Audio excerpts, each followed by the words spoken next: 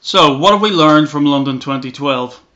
To find out, why not join me, Mick Fealty, on Google Plus today at 1 o'clock London time, or if you're in New York, a little bit earlier, 8 o'clock for breakfast, uh, where we'll be discussing London 2012, the sport, the politics, the ethics, and the economics of the world's greatest festival of sport.